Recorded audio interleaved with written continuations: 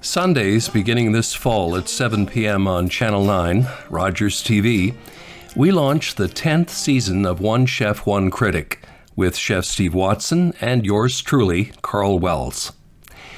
As I think back on all the guests and chefs who've appeared on the show, it gets easier to believe the number 10 is accurate. So, who's been on the show since we started? Everybody. Well, at least that's what it seems like. Certainly, we've had people of every description, varied backgrounds, and from many different walks of life. There have been very few repeat guests, except Mark Critch became sort of a semi regular on the show over the years. In our 10th season, we have two generations of the Critch family represented. Mark is joined by his talented son, Jacob. Jacob Critch aspires to become a professional musician, not a comedic actor like his dad. He's written, composed, and performed his own music. Other 10th season guests include former Telegram and CBC TV journalist Atso Risori, who helps us prepare poached salmon in mustard sauce while filling us in on a life that took him from post war Europe to a career in Canadian newspapers beginning in Western Canada. CBC Radio morning show co host Krissy Holmes appears to recount her time as the original producer of One Chef, One Critic.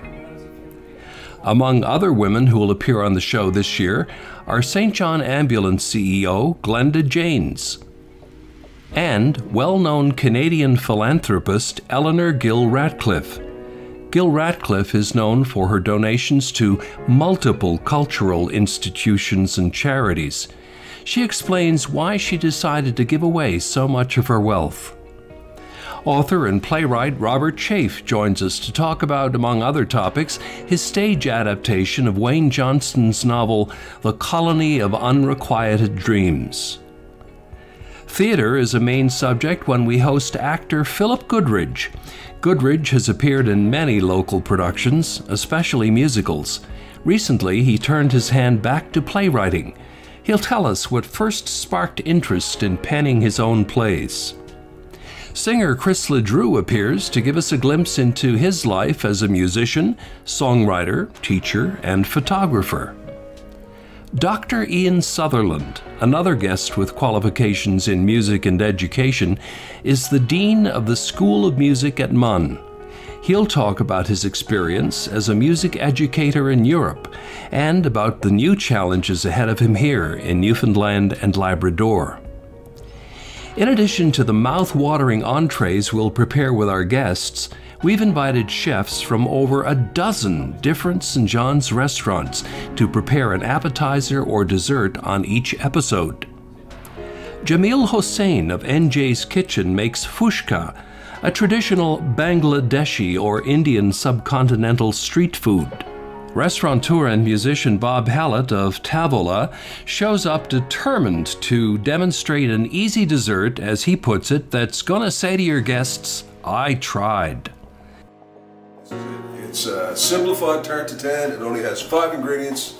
Anybody can make it. It looks amazing and it tastes great. Well, the tart, tart, tarte tatin sounds impressive. that's, that's crucial that it sounds impressive. Yeah, the, the, Kevin Chitre, chef at Yellow Belly Restaurant, is from Mauritius, an island in the Indian Ocean. He makes eggplant and potato fritters. Takesh Iwata, owner and chef of Basho, makes one of his favorite home comfort dishes, a Chinese noodle soup called tong mein.